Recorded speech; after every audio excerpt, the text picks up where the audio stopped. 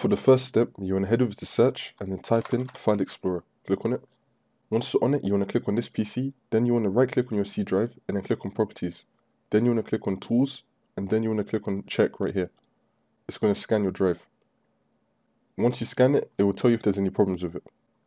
And if any problems are detected, it should fix it for you. This scan might take a while, so we can run this scan in the background and do the other steps in this video. For the next step, we're going to head over to search again and then type in CMD. Then we're going to run it as administrator. And then click on yes.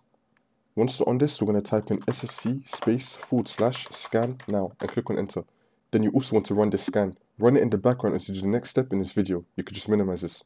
For the next step, we're going to head over to search and type in edit power plan. Click on it. Once we're on this, we're going to click on power options on the top and then you want to click on high performance. If you don't see high performance, then you want to click on the arrow right here and then select high performance.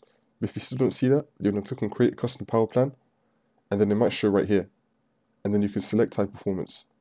But if you still don't have high performance, then you could just stay unbalanced. For the next step, we're going to head over to search and type in services. Click on it. Once we're on this, we're going to click on any service and click on S on our keyboard, which will bring us down. We're going to scroll down till we find sysmain. You want to right click on sysmain, click on properties, and then you want to make sure that the service status is on stopped. So click on stop right here, and you want to make the startup type disabled and click on OK. For the next step, we're going to head over to search and type in settings. Click on it. Once we're on this, we're going to click on the system tab. Then you want to click on storage. You want to make sure that storage sense is turned on, and then you want to click on it and then you want to click on run storage sense now.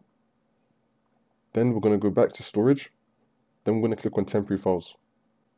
You want to make sure that everything here is selected. But if you want to keep what's in your recycle bin and your downloads, etc., then you could just untick it. But I would just recommend ticking everything and then click on remove files. And then click on continue. For the next step, we're going to head over to search and type in task manager. Click on it.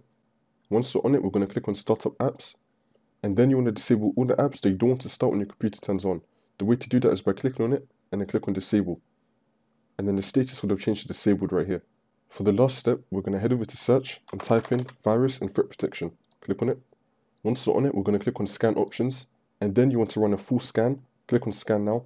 This will take a while, but after you've done this full scan, you want to run a Microsoft Defender offline scan. And then click on scan now. And then click on scan. And then once you complete everything in this video, the problem should be fixed.